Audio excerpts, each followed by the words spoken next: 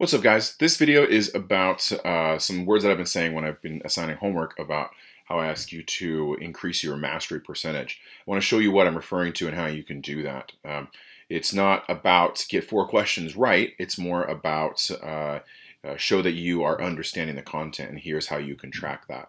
So I'm just diving into a, a the first uh, course. You click the courses link in the top left. I went into early math counting. I'm doing the very first task.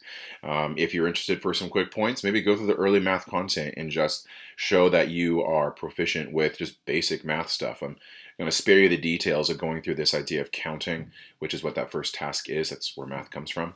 Uh, after you've completed so many questions correct, you get this little leveled up to familiar um, uh, notification, which means that you've moved from basic or have attempted this topic to now you're showing that you actually understand it.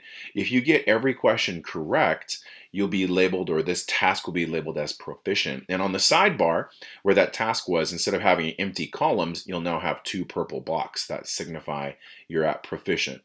Uh, it adds to this uh, idea of a running mastery total of 80 points and um, each task needs to have 80 points. Instead of going through every task, maybe you actually want to dive into a quiz. And so I breezed through a quiz there just to show you.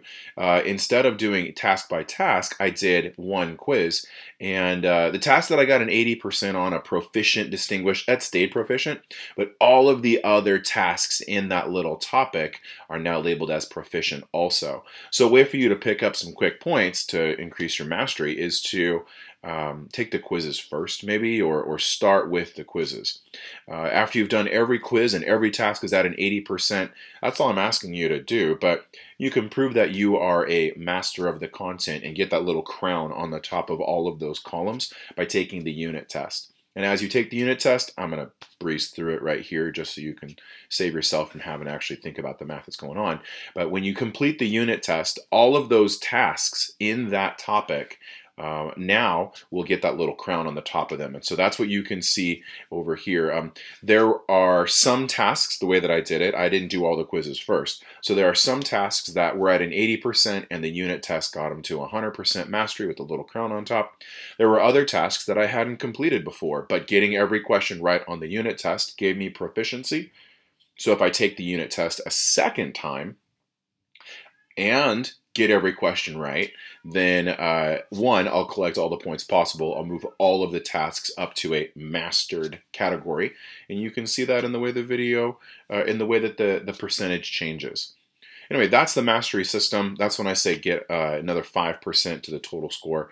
This is just in one topic, but over the overall, we're looking for those. Thanks for watching this video. I hope it was helpful to you. Um, I know I'm trying to be clear and upfront as we're moving through things during this time of, of, uh, of crisis. Thanks for watching this video. Give it a like if you want. Thanks for doing some math with me.